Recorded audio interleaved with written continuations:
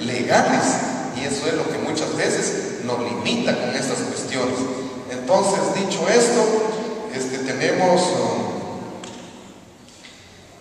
eh, le dimos mantenimiento al camino de Panimaquima Chucmachicá con una inversión de 14.080 quetzales. También el camino de Chipecura Chumay con una inversión de 71.735 quetzales.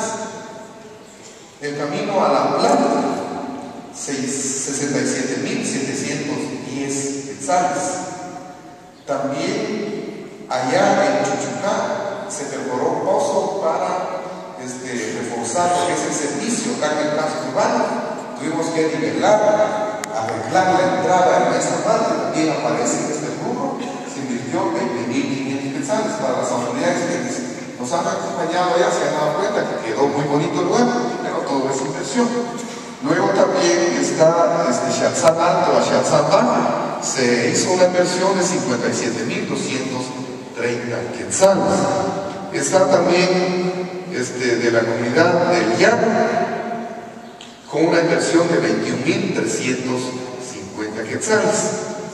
Está también el sector Nimayá con una inversión de 45.180 quetzales. Y si ustedes ven en las eh, eh, diapositivas que tenemos acá, este, ahí reflejan los cambios que han habido.